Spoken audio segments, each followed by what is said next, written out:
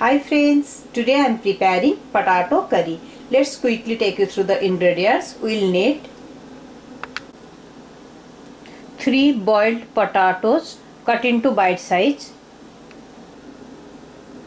1 inch of chopped ginger, 1 medium sized tomato, salt according to your taste, half teaspoon sugar, 2 chopped green chilies, 1 teaspoon of olive oil. You can use any vegetable oil of your choice. Apart from that we need the following spices. 1 4 teaspoon amchur powder. You can replace the amchur powder with 1 teaspoon lemon juice. 1 teaspoon of onion seeds. Half teaspoon of asafoetida or hing. 1 teaspoon of red chili powder. Half teaspoon of turmeric powder. Let's start our cooking. I have already heated some oil in my workstation. Now I am going to add onion seeds. Onion seeds are splattering nicely. Add asafoetida or hing.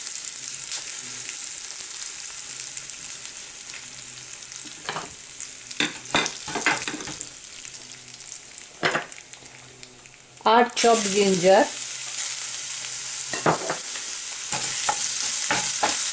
Fry it about a minute. Add chopped tomato.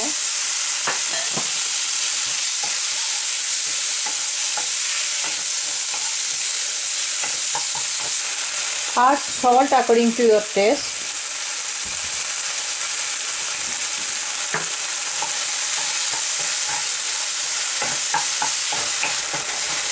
cook till the tomato pieces take a massive form. It will take about 4 to 5 minutes approximately. Add all the spices, red chili powder, turmeric powder and amchur powder. Add little bit of water.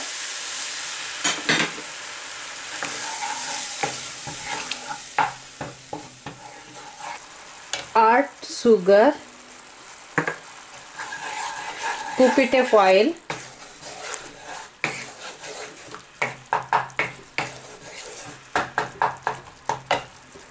now it's the time for adding boiled potatoes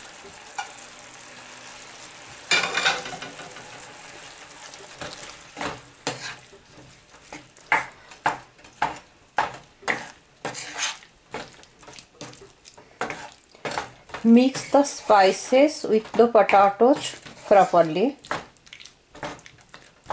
Add 1 cup hot water.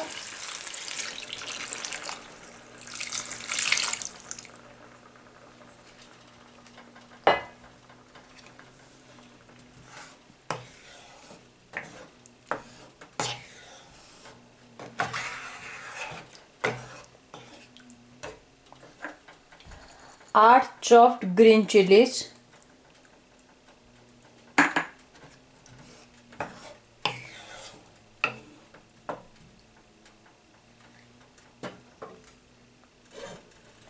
Cover the lid and let it boil.